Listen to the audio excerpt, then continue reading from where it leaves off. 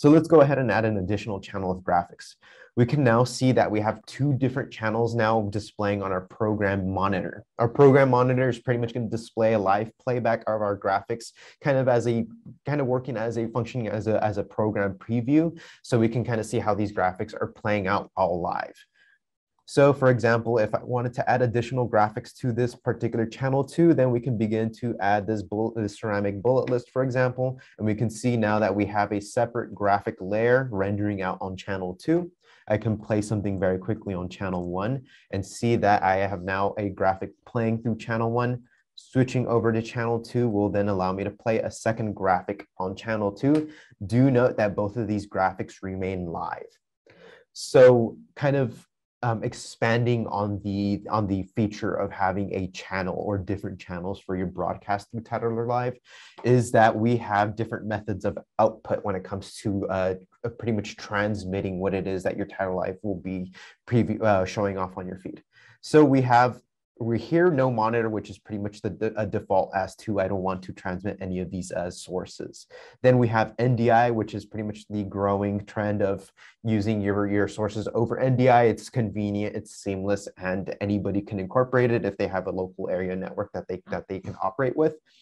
The way that the channels work over NDI is, let's say, for example, I have a graphic playing over channel one, or I have an active channel one, meaning that it's simply existing in my project we will now be able to retrieve channel one as an NDI source.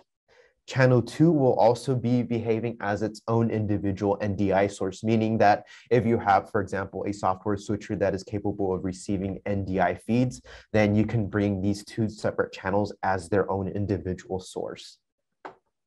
Going on to the next type of thing that we could possibly do is HDMI. HDMI pretty much allows you to build out a a capture monitor that you could use for chroma keying or luminance keying. So we can see here that we have three different options when it comes to generating a color that we can key out, whether it be black for the luminance or green or blue for chroma. And we can pretty much um, interpret from this that depending on the type of switcher that you'd be using and what kind of key you would be using to pretty much have your graphics play through the switcher, then this will be where you would manage those settings so that it, it, it, it pretty much interacts the way it should be with that switcher.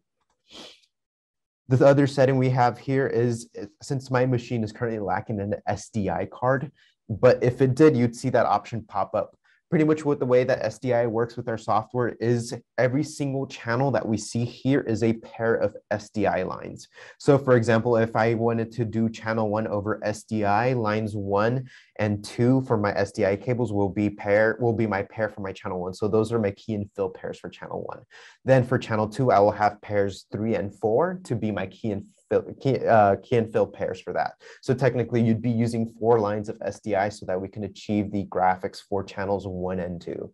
So pretty much it's in pairs of two the way that you could align it to the way the channels are displayed on the interface. The other ones that we can see here are watch folder PNG sequences and direct to OBS. The new one is virtual webcam.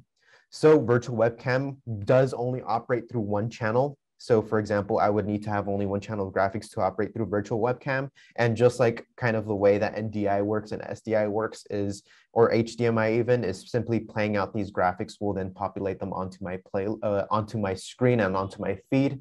If you wanted to, for example, um, and then I will go over into further detail, bring in a live video source directly into your channel, then you can overlay all your graphical elements above that live video source, whether it be a webcam of yourself, or a, an audience that you want to then transmit or like a conference room, then you can overlay that with graphics and send that over virtual webcam.